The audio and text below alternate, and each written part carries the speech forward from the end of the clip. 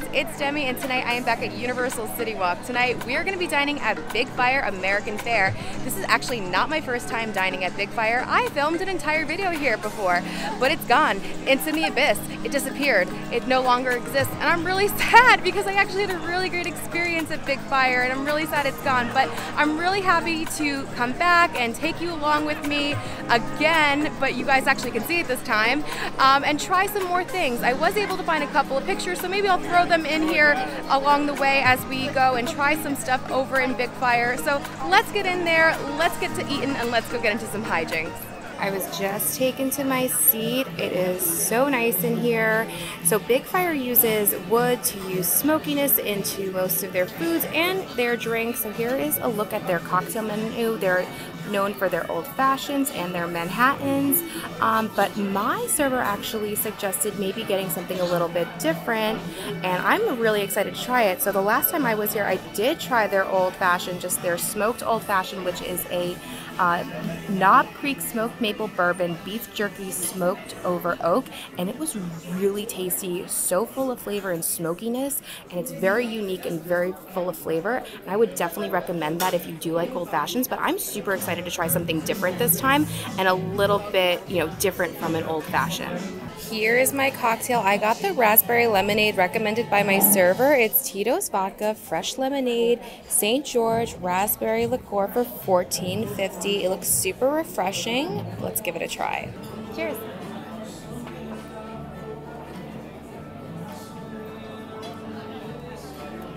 That's so good. That is really sweet, fruity, and tart a little bit, but mostly sweet, but very refreshing. Like you can taste the fresh lemonade in there.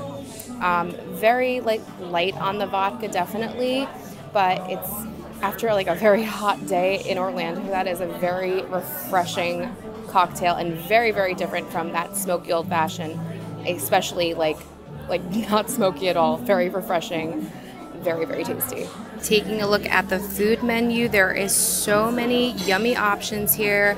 For starters, you have some really great things like mussels and oysters, and you have the bourbon cheese fondue. And I got that last time, which I'm so sad that I lost that footage. It was so good. I'll insert the picture because it's so delicious, but it's it was a lot of food, especially I'm one person. Again, I cannot do it again. It was so much food for one person, but it was so delicious. That cheese was so cheesy. It had so much flavor and all of the fixings around it with the cauliflower, the shishito peppers, and the bread and the carrots and the um, I did the um, the andouille sausage. It was so delicious.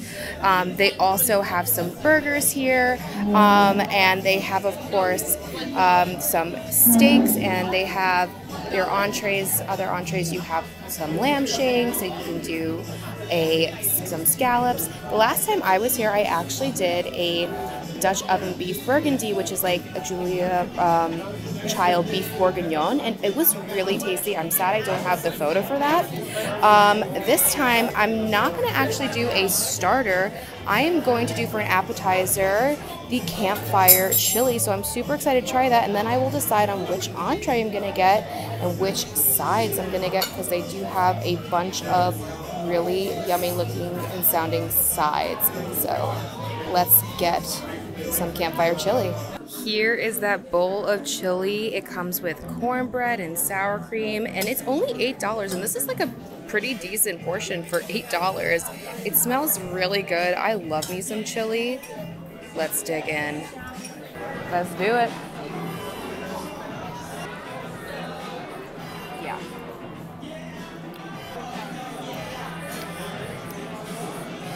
I'm here for the chili. That's pretty good. I always could use my chili to be like a little bit spicy, but it's cooked really well, has a lot of good flavor. I love the sour cream in it. I think it's really, really tasty. The meat is really, really good. It's really, it's so hot, not really hot. It's really like it's a really good bowl of chili, and for eight dollars, like this is like a meal on its own, honestly. Mm. Let's try the cornbread. I like put it all together. It kind of looks gross all together, but I don't care. It's amazing all together. I don't care. It's great. Yeah, that's a really good bowl of chili. no complaints. Very good, very tasty, and especially for the price, eight bucks. Really good bowl of chili. I'm excited to um, pick out an entree because with the smokiness of all the wood that happens in here, and you can like smell it while you're just even sitting here.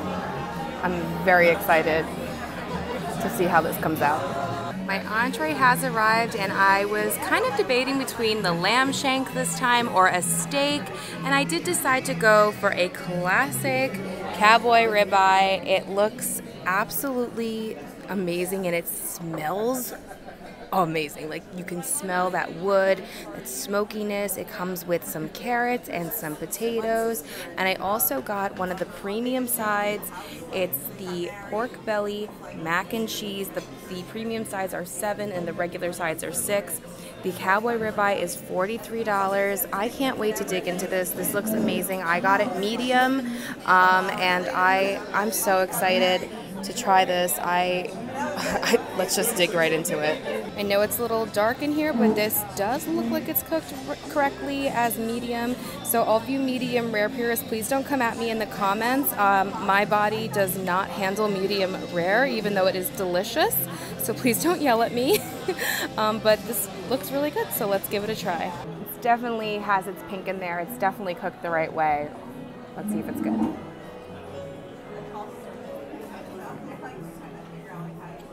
Yeah, that is good.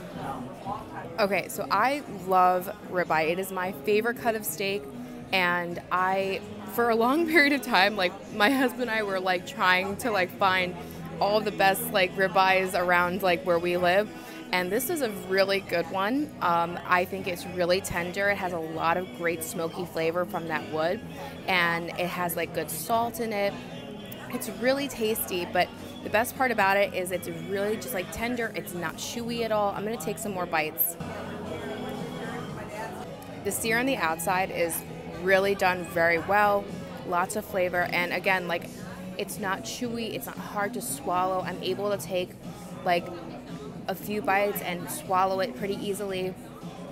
Like it's it's really really good. Like I'm going right into the center where it could get very chewy and it is not. That is a really, really, really great steak. I highly recommend that. And honestly, like, it's a pretty big like ribeye. Um, I, I like. I know it, this sounds weird because it's forty three dollars, but steak is expensive. And I'm coming from New York where like steak is really expensive. So this is really not terrible for a ribeye steak. So I would really recommend this one 100%. Um, I'm to try some of the little fixins and then we're to try the mac and cheese carrots. Ooh. There's so much smokiness on that carrot from the wood. That is so good and surprising. Mm. And it's not like soggy, it's nice and like crispy, but it's soft at the same time. This place is so good. That was really good. Let's try the potato. Potato's fine, nothing really crazy, soft, decent flavor. I could have added a little salt to it, but it's really fine. But you know, you guys also get that little bit of smokiness on there. Overall, an incredible dish. That steak is really, really wonderful. Um, I'm very, very impressed. But let's try that pork belly mac and cheese. Okay, this looks so good. I am very excited. I love me some mac and cheese. It's got that like white cheese on there. You can see that pork belly in there. Let's dig in. All right, let's dig in. Here we go.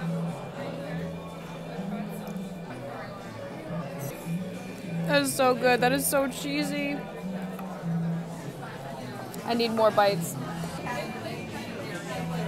That mac and cheese is so cheesy. The pork belly is like cooked well. It's like salty, but the real like star is like just like the mac and cheese, like being all cheesy. But the pork belly is nice with it. Like you get like some saltiness from it, and you get like a nice texture from it overall, like really, really good side dish, really good pairing, really good meal. I'm so full. Um, wow, this this is so cheesy. The um, the pasta is cooked really well. It's a really good side dish. I mean, to me, you can never really go wrong with mac and cheese. Honestly, even when mac and cheese is bad, it's like usually pretty good. Um, but that's a really good one. I like the pork belly with it. Good pairing I'm so full. Such a good meal. I'm like hot. Overall, great pairing. So I think if you just get exactly what I got to, you're gonna have a really great night. Whew, I'm so full though.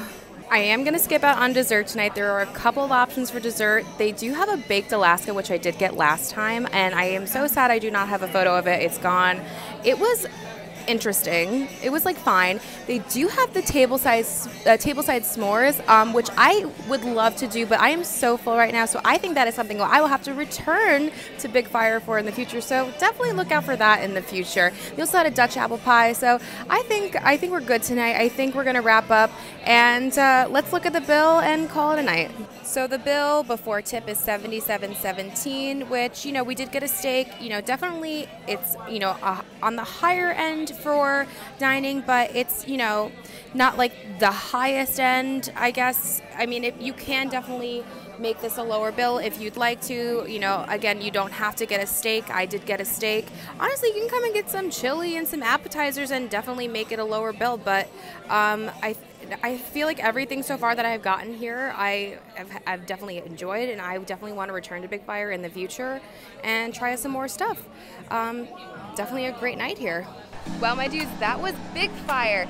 There's also a bar, by the way, and they may have walk-up availability if you don't have a reservation at a Universal restaurant and you'd like to eat somewhere. So definitely come and see if there's some walk-up availability for the bar. Um, or if you just want to come and maybe try to get a really great old-fashioned or one of those like yummy lemonades that I got tonight, see if there's some availability at the bar. Um, this is a really great spot. I definitely want to come back and do that like s'mores tableside service and try some other goodies here as well. And I think, you know, I would love to come back with some other people and try to do maybe the fondue again and, you know, film it and keep that film this time. but it, you know, this place is really good. Definitely high quality food. Um, and you know, again, it is you know a little bit more in price for certain things because you know it is steak and steak is always going to be on the higher end of things. But honestly, like I said, like for ribeye, $43, that's like really not not a terrible price for ribeye. Like I've paid like really way more expensive way more expensive times for ribeye. That's really not a terrible price at all, and it was a really good ribeye. I have a lot to take home, so I'm excited to have some leftovers, um, and I'm excited to come back here one day. So definitely look out for more Big Fire videos in the future, and more, of course, Universal content and City Walk uh, restaurants in the future. And anyway, thank you guys so much for watching. If you did like the video, please be sure to give it a thumbs up. Don't forget to subscribe, hit your bell notifications so you don't miss anything that comes on this channel. Follow me on Instagram at Magical Hijinx. Be sure to check out my Patreon. Become a patron, you'll get exclusive bonus content. You'll be helping me to continue to create great content here on this channel. And until next time, my dudes, I hope you guys get some hijinks very, very soon. Bye-bye.